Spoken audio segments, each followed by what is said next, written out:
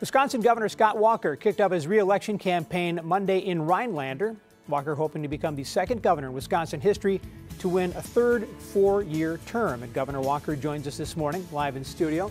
Uh, nice to see you. Welcome Good back. back. Yeah. We were just recalling that when you were first elected, you came over and we spent about 20 minutes, and you, as you said, in the studio right over Right. there. So what I want to ask you is, in that time, if you, if you assess yourself, how have you changed politically and maybe as a leader in that time? Well, a lot's happened. A lot has happened. A lot has happened. And good news for us, it's, it's ended up being good. I mean, when I first ran, we had uh, unemployment in 2010 had peaked out at 9.2%. Today, it's just over 3%. We've got more people employed than ever before. We made historic investments in K through 12 education this year alone. Uh, we froze tuition six years in a row. A lot of good things have happened, and uh, I think you know, kind of matured in terms along the way of, of understanding how to keep things in balance. And uh, that's why we're excited about saying we've come a long way, but there's more work to be done.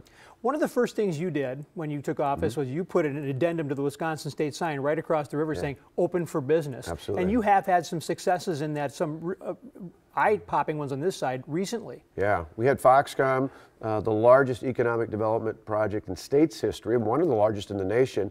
13,000 new jobs just from one employer alone.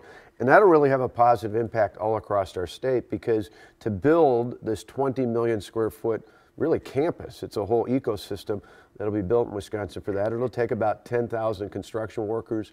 Over time, it'll take about $1.4 billion a year just in in-state purchases that'll be made from Wisconsin-based companies just to supply all the things they need to make some of the biggest LCD panels in the world, right in Wisconsin. You, uh, we, we cover Western Wisconsin. That's why you're here. Exactly. Albeit not probably as good as we should sometimes because we have so much happening here in the Twin Cities. Yeah, understandable. So, so that said, we have this impression, or at least I'm going to say it from my point of view, that there is Milwaukee, there's Madison, Mm-hmm. and there's the rest of Wisconsin. And you seem to do well in the rest of Wisconsin, maybe not so much in Madison and Milwaukee. Is that a fair assessment? Yeah, I think so. I mean, I spend a lot of time, not just in Hudson, but Menomonie and Rice Lake and areas all throughout the Northwest. But, but obviously, sometimes people don't know as much. It's why I like to come, physically come here uh, to talk a little bit to citizens. We, we love people from Minnesota to come and visit and do business with us as well. Uh, but particularly for those areas of the Northwest. And, and that's true not just in politics, it's true in business and sports in just about everything. Sometimes folks in the Northwest feel left out just because they get their news from one place versus another. I love to remind people down in the Milwaukee area uh, that Hudson is as close to the Twin Cities as Waukesha is to Milwaukee. And so, really part of a larger ecosystem. We want to do well across state lines. And recent example of that was the new bridge being opened over the St. Croix River.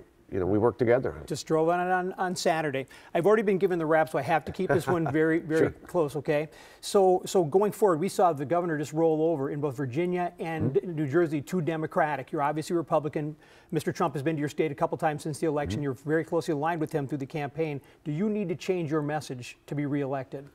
No, from our standpoint, I mean, the two states that lost are blue states. So Republicans candidates didn't win in blue states. That's not exactly, uh, you know, it's like uh, dog eats bone headlines there. Uh, a Democrat uh, won in a state that Hillary Clinton won in Virginia. A Democrat won in a state Hillary Clinton won in New Jersey. In Wisconsin, it's a very competitive state. The thing we need to do to win next year is carry out a positive message. Not only tell the story about how we move Wisconsin forward, but tell what more is going to be done to make sure everyone's a part of that economic recovery, that our students can continue to get the best education in the world, and we continue to see household incomes go up. We're going to do that and more between now and next November. You take care of that cold. Yeah, thanks. And, and, and good luck in the I think it's campaign. more a ahead. Thank reflection of the joining us this Packers play. Uh, Thanks. I, I wasn't going to say anything, Sven, about the Vikings that's and the. Packers. I just was going to leave it alone, but he went there. he he did go there. You, you don't have any more time to talk. I'm sorry.